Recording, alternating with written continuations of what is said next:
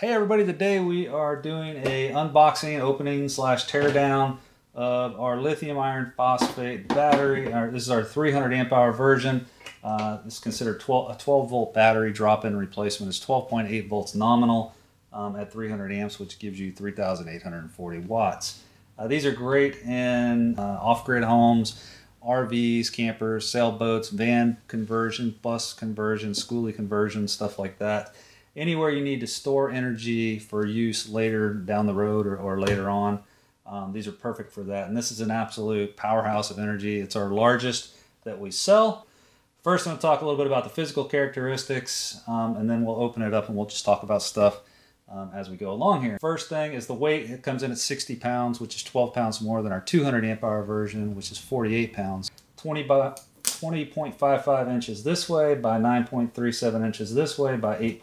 8.54 inches in height and add another inch or so for the terminals. It has polycarbonate handles on the side which are removable. You just push it out here and then slide it over and pull it out and the handles can be removed that way. For the bolts we have 8 millimeter bolts. Um, they come with lock washers and you also get a couple of extras. Alright so that covers the weight, that covers the dimensions and now we'll talk a little bit about what's going on inside. So the BMS is made by Jiabaida. It's they're uh, I'm going to call them JBD from now on. JBD is uh, kind of the acronym that, for the for the company, the BMS company.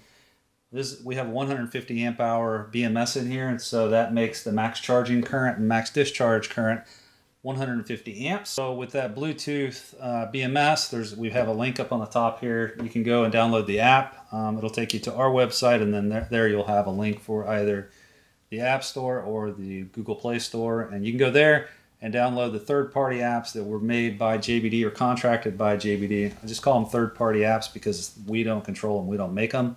The Android app, to be honest, is a little quirky, and there is a much better um, ad, I call it the admin version because it unlocks everything. You can change parameters and stuff. If you shoot us an email, support at rebelbatteries.com, we'll send it to you. If you don't want to wait, you can find it on the web pretty easily. Um, just do a search for JBD admin or JBD 3.1, I believe um, it'll it'll pop up in some some forums and other places where you can download that. It comes as an APK file. You just download it to your phone and you install it like a like a Windows uh, exe file. It's pretty simple. Um, it's pretty intuitive and not very hard to install, but it is a, it is outside of the Google Play Store, so that's something to be aware of. All right, enough about that. You want to see what's inside the battery? I know. I only have one camera, so I'm going to adjust the camera over to the side, and I'll change the microphone around a little bit so we can I can talk a little bit as we walk through it. So bear with me here. Okay, so opening this beast up, you can uh, see quickly the, the main components. You got a Bluetooth module connected to the BMS. The BMS has uh, two wires attached to the negative terminal of the battery pack, and those come into the BMS and then out the negative over here. And then the positive wires are connected directly to the positive terminal on the BMS. You got a little bit of foam here, and that what that does is press against the top here and holds it in place securely. Um, you'll there's also double-sided tape on the bottom of this, and it's it's an extremely difficult to get off adhesive uh, 3M tape. So this battery is going to somebody that's doing a review for a magazine, and so I don't want to tear it up too too badly. Um, but I do want to at least try to get the top off. So we're gonna, I'm going to try to cut the seams here so you can see the cells underneath and what's going on there. And at the factory, what they do is they use ABS glue and it's the same kind of well it's similar to the glue that you use when you put PVC pipe together if you've ever done that or it makes it liquid tight. And then with the epoxied um, terminals down here it's that it's even more liquid tight. So no water is ever going to get in here. You can use these in high moisture environments.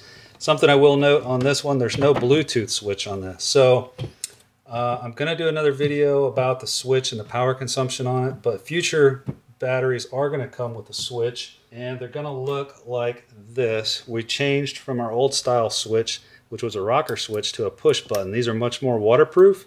Um, and before,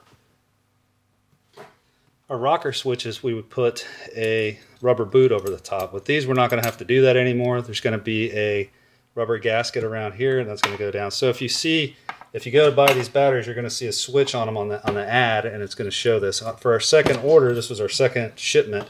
We didn't have the switch installed for the Bluetooth, and it's a hard switch that actually connects to the wires. They they cut the splice the wire and one goes to the switch, the other goes to uh, the board. Because it basically cuts the power off, it hard disconnects the, the Bluetooth module.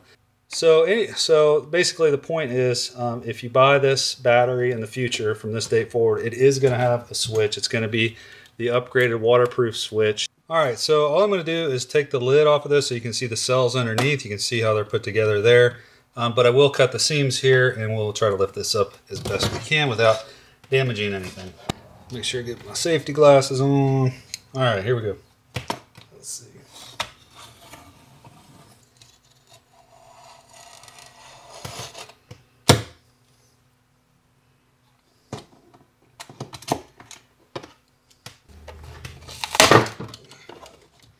All right, we broke the tape loose.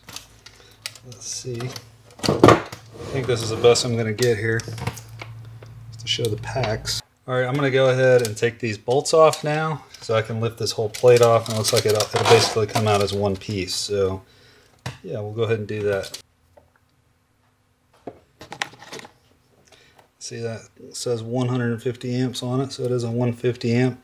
It's crimped and soldered inside of there. I'm not sure if you can see that. You can see the solder splattered out.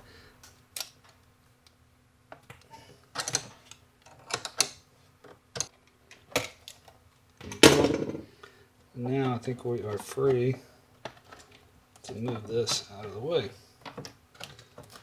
All right, I know I said I was going to try to do a minimally invasive procedure here, but uh, I got to get the foam out if I want to get the cells out, and I really like to see want everybody to see the tops of the cells and kind of how they're they're built. So I'm going to use a sheetrock cutter here to get the foam out. All right, here goes.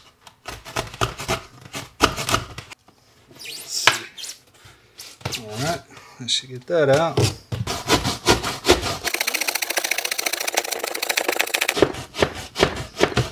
Oh, man.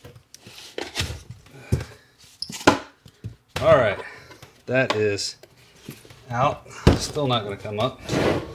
I think next step is going to be, let's vacuum it, and then I think it's going to be a heat gun on the bottom to loosen that, that stuff.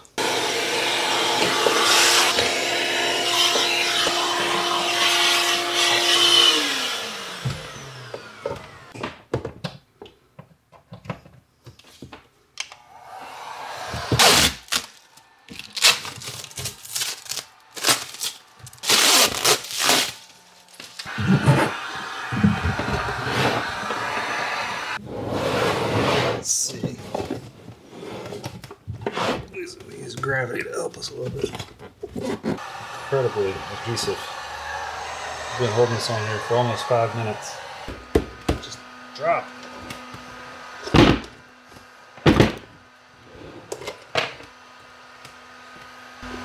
It's not coming, not even budging.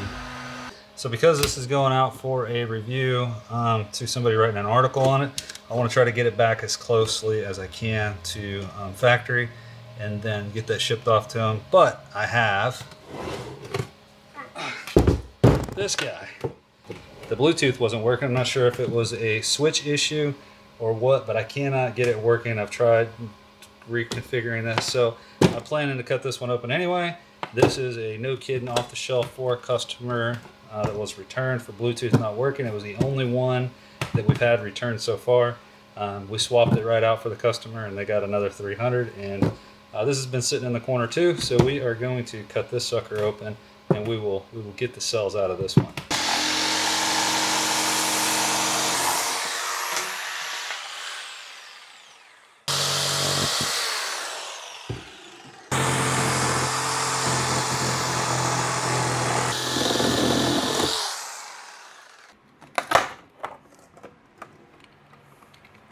All right, so we got the same, basically four cells in here that we had on the other one, like I said, we would. All right, well, first things first, we can cut this end off and see where that gets us.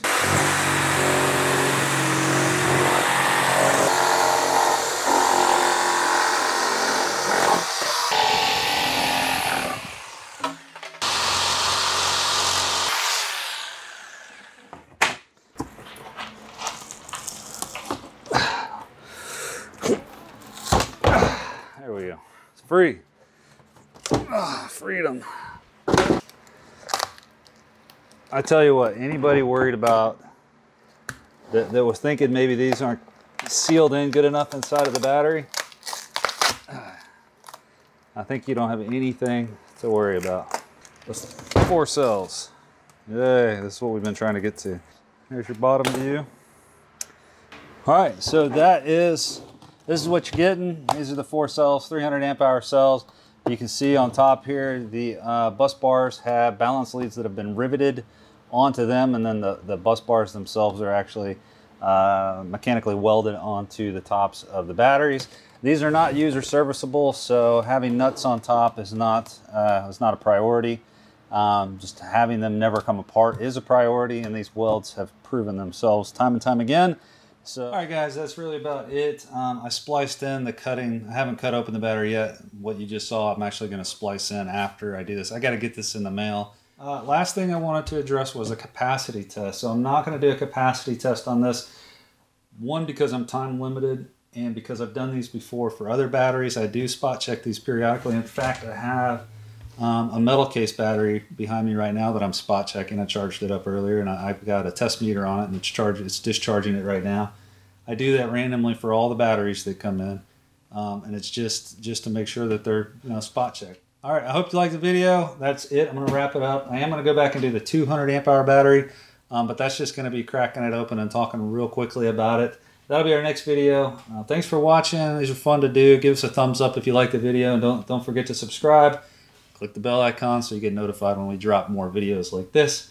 After the 200, we are going to do our smaller batteries. We got a 50 amp, a 24 amp, 12 amp hour, and 6 amp hour all, all on the lineup. So stay tuned. Yeah, all right. Thanks for watching.